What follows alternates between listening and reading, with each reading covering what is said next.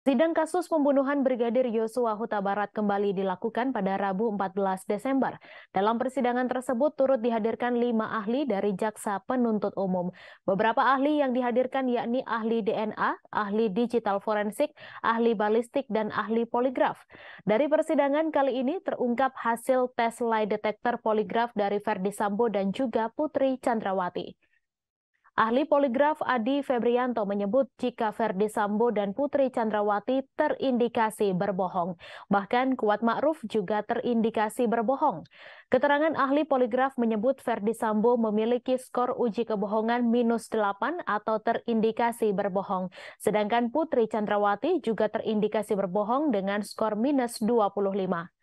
Untuk Kuat Ma'ruf dengan dua kali pemeriksaan hasilnya 9 dan yang kedua minus 13. Hasil tes tersebut rupanya membuat terdakwa Ferdi Sambo merasa keberatan dengan keterangan dari ahli poligraf yang menyebut ia dan istrinya terindikasi berbohong. Menurut Sambo, hasil uji kebohongan tak ada hubungannya dengan dakwaan pasal 340 terhadap Putri Chandrawati. Sambo menyebut sangat menyayangkan pembuktian ini hanya berdasarkan isu kemudian titipan penyidik. Menurutnya, ahli harusnya menyadari dampak yang diberikan hasil tersebut terhadap keluarganya.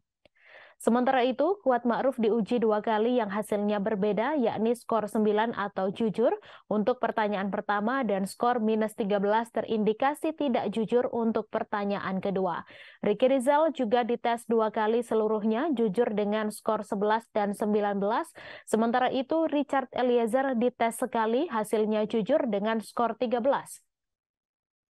Di sisi lain, dalam sidang tersebut, ahli balistik menghadirkan sejumlah foto bekas lubang di dinding TKP rumah dinas Duren 3, termasuk memperlihatkan 10 selongsong peluru dari senjata api Glock 17 dan HS yang diidentifikasi ahli balistik dalam penembakan Yosua.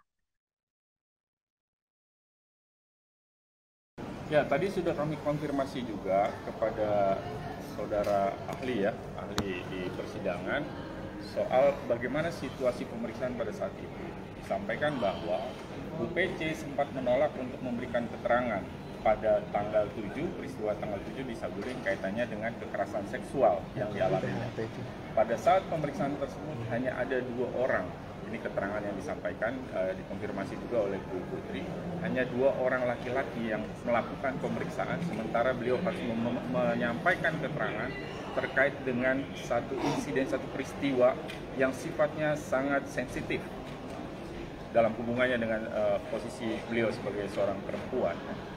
Nah, sehingga dalam dalam informasi tadi yang disampaikan juga, tetapi pemeriksaan tetap dilaksanakan, walaupun situasi sebenarnya tadi dijelaskan juga bagaimana Bu PC sempat menangis ketika akan dilakukan pemeriksaan, tapi kemudian pemeriksaan bisa tetap dilaksanakan. Catatan yang paling penting adalah untuk melaksanakan tes poligraf, maka perlu dukungan situasi-situasi tadi. Artinya yang diperiksa harus kooperatif, menyetujui, dia dalam keadaan yang nyaman. Terima kasih sudah nonton. Jangan lupa like, subscribe, dan share ya. Thank you.